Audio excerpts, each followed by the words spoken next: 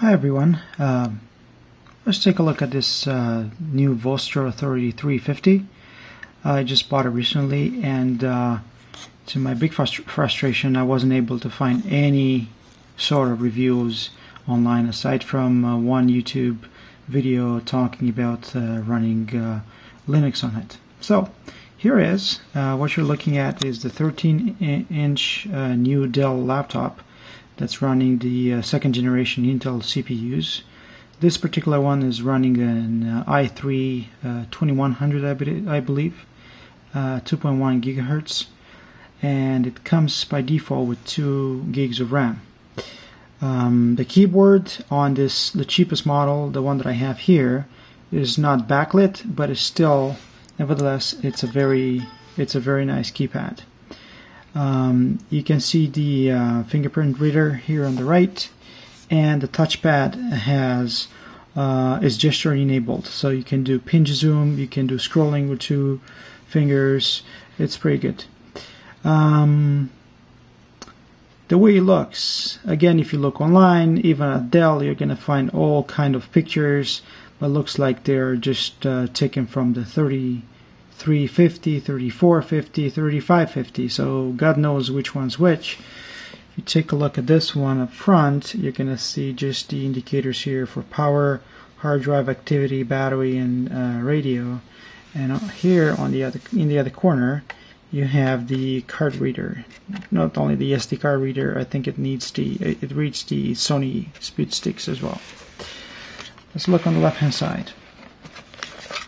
What you see here as the two USB ports. This is the uh, gigabit port and the DVD. And on the other side, on the right hand side, you're going to find the rest of the ports. Here you can see the uh, the headset. This is the uh, uh, what is this? This one is the eSATA port, which is not um, and it's common with an USB port. You have the HDMI and the video in. At the back, the only thing you'll see, aside from the exhaust from the CPU, is here is the DC power in. And mine is the silver one. It's all aluminum encased, um, which is pretty nice as well.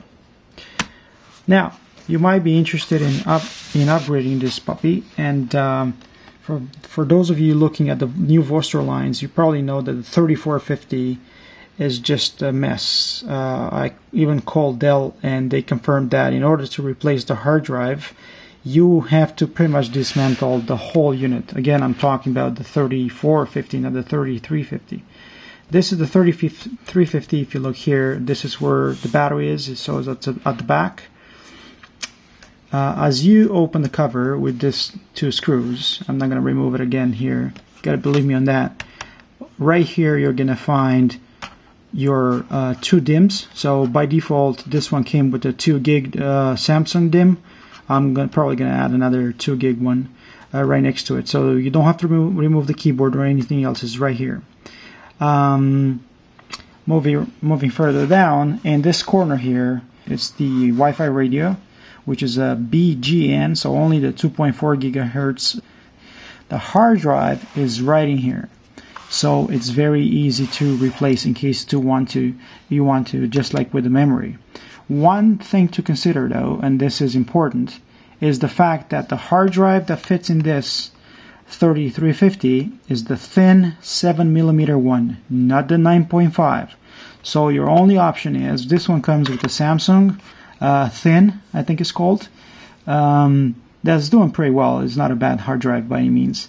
I think there is another Hitachi out there that can provide the same, that is uh, as small as this one, so 7 millimeters thin.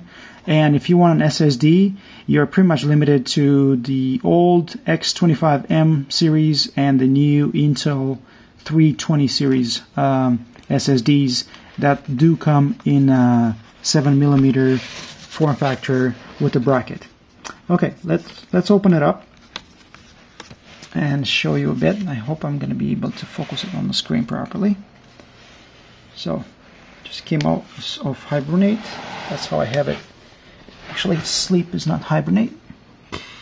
and well one more thing this thing has as you can see up here you have the camera and the two microphones they use two microphones mostly for um, noise canceling. So it's a useful feature in for noisy environments. Um, this uh, laptop has only one speaker and is here I believe it's right here on the lower left corner. Um, it's pretty loud so I didn't find uh, uh, that to be a problem. And uh, I usually use headsets with it anyway. So uh, let's go back in here and let's see if you you'll be able to see this well first of all if I look at the uh, here's the performance the experience index if I take a look at this one, as you can see, is a, a i3 uh, CPU with 2 gigs of memory installed. It comes by default with uh, um, 7 uh, premium and the 64-bit. If you look in here, you're gonna see that pretty much the lowest number here, 4.6, for is for graphic graphics. This is the integrated uh, Intel, which is plenty enough for running. I run 1080p, 720p video, any streaming video that you can think of, it runs smoothly without shuddering of any sort. Uh, the screen. Screen is not amazing. It's it's a TN screen, so um, the performance is pretty good. It's better than, for example, their new Latitude series, which has a bluish tint to it. This one has, is pretty true to the colors and is fairly bright. As you see here, the native resolution is 1366 by 768 screen is pretty good, it's pretty bright.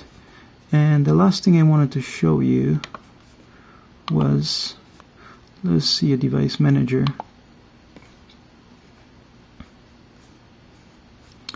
And you can see here the Bluetooth 3.0. Um, the display adapter is the Intel, the integrated Intel. Uh, the IDE is in uh, uh, is right here. And it should be an SD, which is a, a Seagate and uh, the processors. You have two two cores with hyper-threading uh, so, they are all seen as uh, four CPUs in here. Overall very nice laptop. I recommend it to anyone that's looking for uh, a low priced very nice small uh, laptop. I hope you found this useful. I'll talk to you later